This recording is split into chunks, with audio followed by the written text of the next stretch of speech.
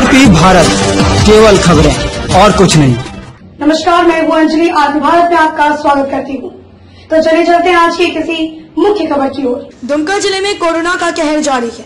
शुक्रवार को शहर के जिला स्कूल रोड मोहल्ले में एक ही परिवार के दो लोग सहित कुल नौ नए मरीज़ मिले हैं कोरोना संक्रमित मरीजों में जिला स्कूल के समीप रहने वाले परिवार के दो सदस्य में एक महिला भी शामिल है।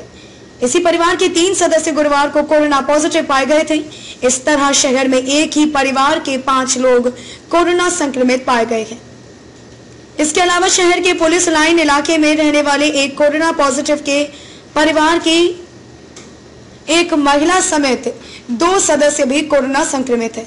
शहर के कुलदीप सिंह रोड का एक सदस्य नितुर पहाड़ी के दो बंदर जोड़ी व दुमका कोर्ट के एक कर्मी की रिपोर्ट पॉजिटिव आई है। ज़िले में अब तक 275 लोग कोरोना पॉजिटिव हैं, जिसमें से 175 लोग ठीक होकर घर लौट चुके हैं, जबकि 100 व्यक्ति अभी भी कोरोना संक्रमण के कारण इलाजरत हैं। दुमका से विनोद त्रिवेदी की रिपोर्ट।